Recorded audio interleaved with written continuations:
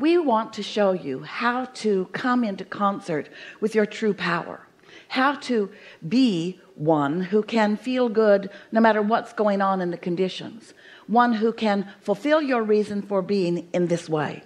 You came knowing that contrast was a good thing and that the contrast would cause you to ask for improvement or simply to ask for more. And you understood that in the asking for more it would be given to you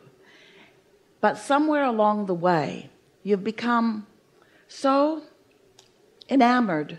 with the reality that is doing its dance in front of you that for most humans most of your vibrational offering is about what you're observing. Which means if you're observing something that pleases you then you are offering a vibration and in that moment attracting more that pleases you but if you are observing something that doesn't then you are offering a vibration that attracts more to you that doesn't. And so that's what we want to help you to sort out because living conditionally like that is really a short-sighted way to live